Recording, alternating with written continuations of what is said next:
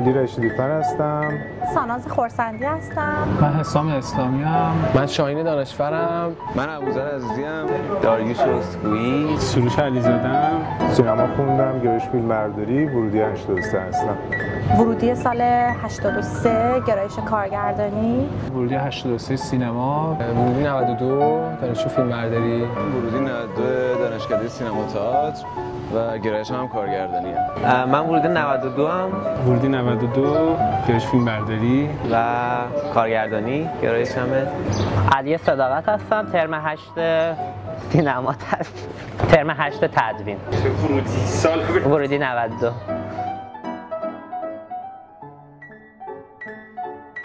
اه، اه، اه،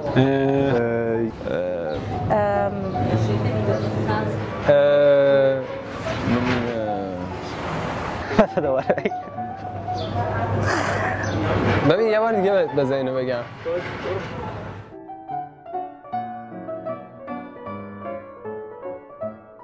آقای فرج فکر کنم جز معدود استادایی بود تو دانشکده که نسبت به کار و درسی که به ما می‌داد احساس و شور داشت یه محفلیه که خیلی باید با شور و عشق و علاقه بری و منتظر خیلی اتفاقای تازه خیلی حرفای تازه توش باشی. اینطوری که میگم خیلی کلاس آکادمیک منظم و اصولی جز معدود کلاساییه که فقط تو این دانشکده یه استاد درس میده و واقعا فکر نمی کنم کسی غیر از اون بتونه اون درس رو اونطوری بگه.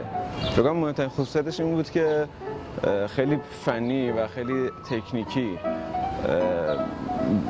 سینما رو به ما نشون میده. یکی از بهترین چیزایی که خود من یاد گرفتم سر اون کلاس ها اصولی یاد گرفتن چیزا بود. یعنی خیلی طبقه بندی شده. کلاسی که ازش خیلی چیز یاد گرفته تقریبا هر جلسه چیز یاد گرفته منسجم و درست و منظم و از دقتش و اطلاعات جزئی که داره واقعا آدم متحیر میشه.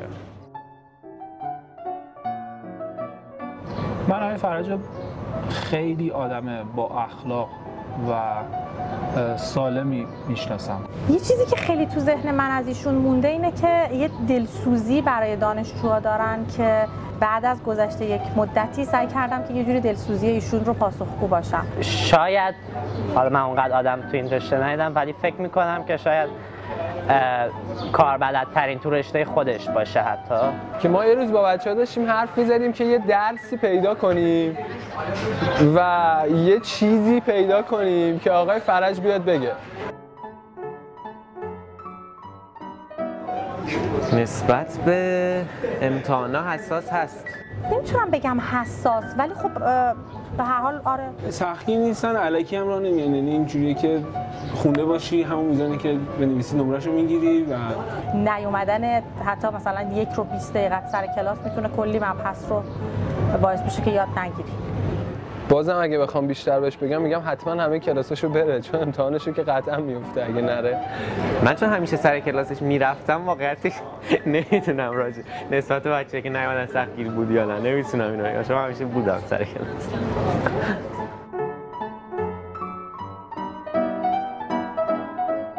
با اینکه خیلی مباحث تخصصی هن ولی اصلا اینجوری نمیشه گفت که خشک کلاس.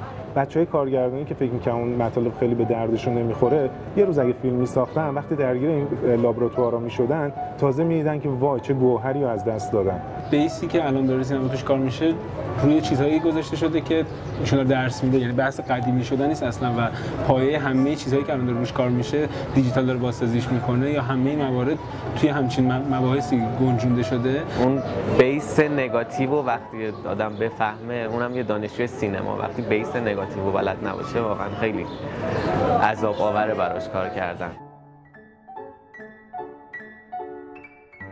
آقای فرج جز معدود اساتیدی هستن که من هنوز بعد از 12 سال باشون ارتباط دارم. من حتی خودم مثلا شده که اینجا تو دانشکده سینما تئاتر نه تو دانشگاه سوره مثلا با ایشون قرار گذاشتم و رفتم مشکلات حالا مباحثی که می‌خواستم رو حل کردم. جواب سوالا رو که میده قطعا و خیلی هم کمک می‌کنه یعنی بیشتر از خودت برات انگیزه داره واسه اینکه بهت یاد بده و ما ما خودمون یه کاری انجام دادیم. همین چند وقت پیش نگاتیو بود. یه ایرادی ایجاد شده بود توش. من اولین نفر رفتم پیش آقای فرج که بپرسم ازشون. مثلا تو جشنواره ها می‌بینم ایشونو تو محیط دانشکدم یعنی هستن خیلی راحت با آدم حرف می‌زنن و تو تلگرام خیلی راحت باشون در ارتباط بودم. یعنی خیلی خوب. خیلی حس خوبی می‌داد.